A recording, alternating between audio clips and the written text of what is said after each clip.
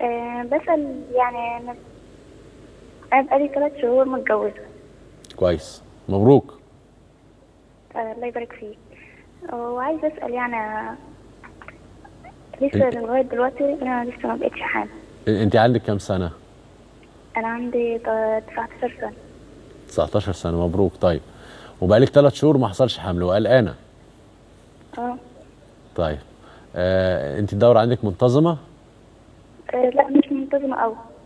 كل شهر بتيجي ولا ممكن تقعد شهرين ثلاثة ما آه. تجيش؟ أيوة كل شهر بتيجي. okay. والزوج آه، سليم وبيحصل علاقة زوجية في أوقات التبويض وكل حاجة ولا في مشاكل؟ لا مفيش مشاكل ولا حاجة.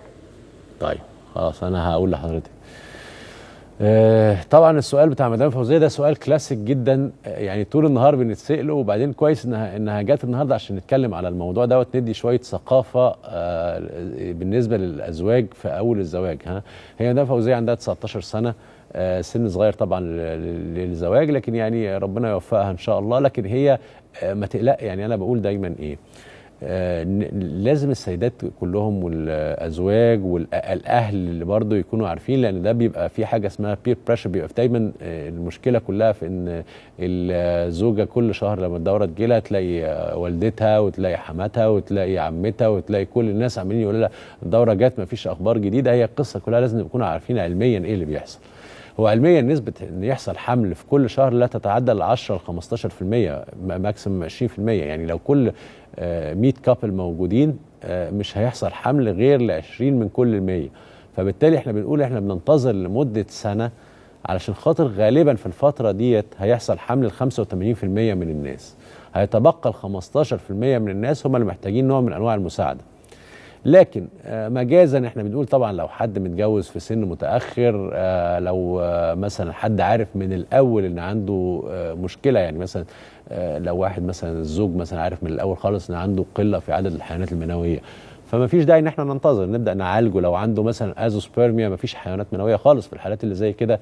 في أي حالة من الأحوال هيعمل حقن مجهري مع أخذ عينة من الخصيه. ففي الحالات اللي زي كده مش لازم إن إحنا ننتظر. ممكن إن إحنا نخلي الزوج على طول إن هو آه، يخش في موضوع أطفال الأنابيب أو الحقن المجهري آه، في الحالات اللي زي كده. لو الزوجة آه، أساسا عندها التبويض مش منتظم. طب إيه اللي يدلنا إذا كان التبويض منتظم ولا مش منتظم؟ أنا عشان كده السؤال اللي أنا سألته لها هل الدورة عندك منتظمة ولا مش منتظمة؟ أغلبية الوقت لو لو التبويض مش مش سليم الدورة مش هتبقى منتظمة. لو لو الدورة بتيجي كل شهر يبقى وفي السن الصغير ومفيش عندها أي مشاكل يبقى غالبا التبويض منتظم.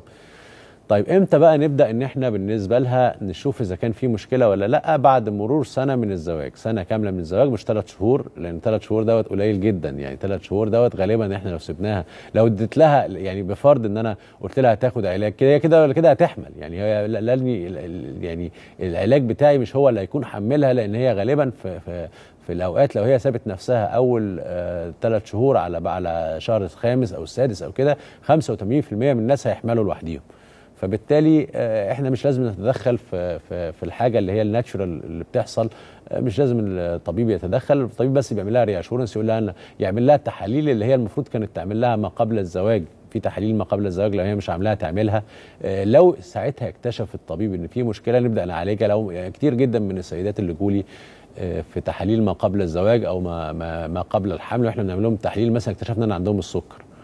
آه، طيب لو في لو حد عنده السكر دوت لازم له علاج معين قبل الحمل لأن إحنا اكتشفنا إن تظبيط السكر قبل الحمل مثلا آه، بي بي بيقينا من يحصل عيوب خلقية في الجنين بنسبة كبيرة جدا. يعني لو هي النسبة مثلا من 1 ل 3% آه، مع مرضى السكر ممكن توصل ل 7 ل 10% فإحنا لو رجعنا ال- السكر ال- المعدل الطبيعي بتاعه بنرجعها لل natural بتاعها.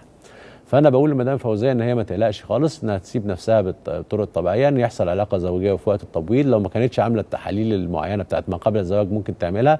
تبدأ تاخد من دلوقتي طالما هي مش ما هياش منع الحمل تبدأ تاخد ال folic acid حمض الفوليك من دلوقتي تاخد اللي هي ال recommended dose اللي هي 400 مايكرو جرام أقل جرعة موجودة في السوق تبدأ تاخدها من دلوقتي آه، وربنا إن شاء الله يكمل لها على خير وي- ويحصل حمل. لو في خلال سنة ما حصلش حمل تبدأ بقى هي وزوجها يبحثوا عن أسباب تأخر الحمل